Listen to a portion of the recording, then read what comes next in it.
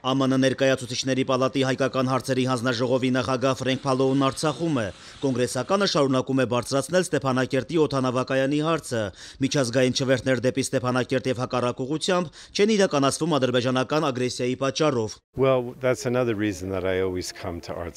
Արցախ եմ այցելում, որպեսզի անձնական օրինակով ցույց տամ, որ այստեղ անվտանգ է, որ ԱՄՆ-ի քաղաքական գործիչների համար այստեղ գալու ոչ մի սահմանափակում չկա։ Եվ ոչ միայն քաղաքական գործիչների մասին է խոսքը, այլ նաև մշակութային, տնտեսական կապեր զարգացնելու առումով կարելի է այցելել Արցախ։ Որպես կոնգրեսի անդամ վերջերս նախաձեռնել եմ բանաձև ուղղված պետքարտուղարությանը, որպեսզի ասեմ, որ Արցախը դե ֆակտո կայացած պետություն է, ինչպես Հայաստանը ու ԱՄՆ-ն, եւ այստեղ գալու համար պետք չէ վախենալ։ Ֆրենկ Փալոունին ընդունել է Արցախի խորհրդարանի ղեկավար Աշոտ Ղուլյանը, որից հետո տեղի է ունեցել ընդլայնված նիստ։ Կոնգրեսականի խոսքով Արցախի խնդիրը պետք է լուծվի բացառապես խաղաղ ճանապարհով, իսկ Միացյալ Նահանգները պետք է դադարի զինել Ադրբեջանին։ Well, I think that first of all Ես նամակ եմ ուղարկել ԱՄՆ պետքարտուղարություն եւ պաշտպանության նախարարություն, կոչ անելով դադարեցնել ցանկացած ռազմական օժանդակություն Ադրբեջանին, որովհետեւ նրանք վերջերս ավելի շատ են սկսել ստանալ Ամերիկայից, պատճառաբանելով Իրանի հետ սահմանի հարցը։